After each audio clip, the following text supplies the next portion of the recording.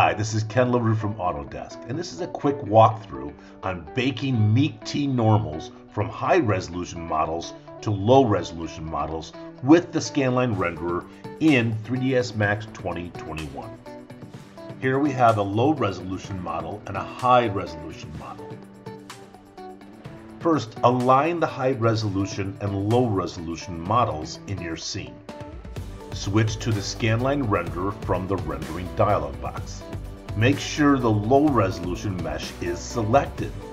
The maps must be created for that object. Now open up the Bake to Texture dialog box. Add a diffuse and normal maps from the Add Maps in the selection menu. Set the destination folder where the maps will be saved. Select all the maps. You can use Control A to do that or just drag and select them all.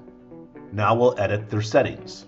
In this case, the resolution will be 512 by 512. For the column that reads projected from, click where it reads self and then choose pick from list.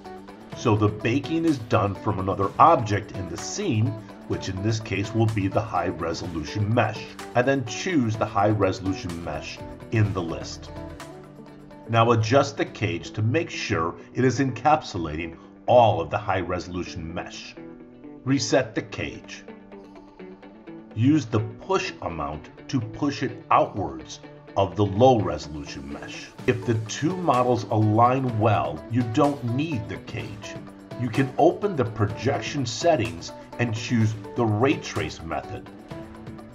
Click on the projection settings. Select ray trace. Set the distance to a distance that makes sense. A value of 10.0 by default works in most cases. Set the map's destination in the Output To column. Choose Create New Material. Pick PBR Material Metal Rough. Set the diffuse map to base color. Set the normal map to norm map. Now let's set the normal map options. Choose tangent space, sync with 3ds Max or any other application of your choice. MikkT on, calculate per pixel off.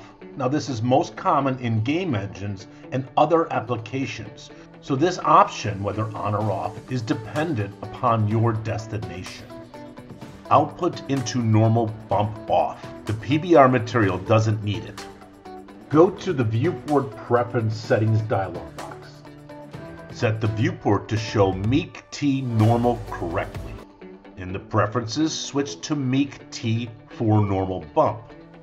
Turn off calculate per pixel. Keep in mind that the normal maps options and settings in the Bake to Texture dialog box and the Viewport Preference dialog box need to match or the maps will not display correctly. Now click the Bake button and close the dialog box. In your scene, compare the two meshes side by side.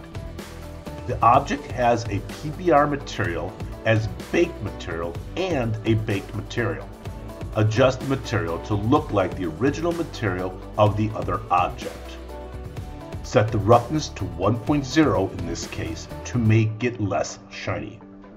So that was a quick walkthrough about baking MikkT normals from high resolution model to a low resolution model with the Scanline renderer in 3ds Max 2021.